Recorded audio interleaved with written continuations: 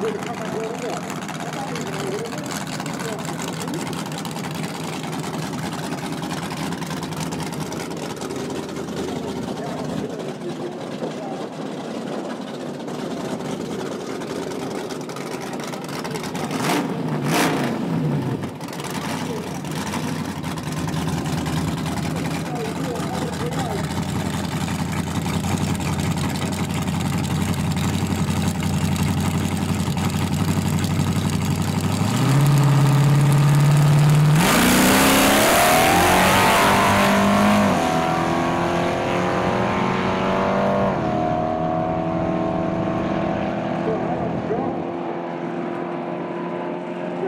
1200 113. I think their farm worker trucks still feeding out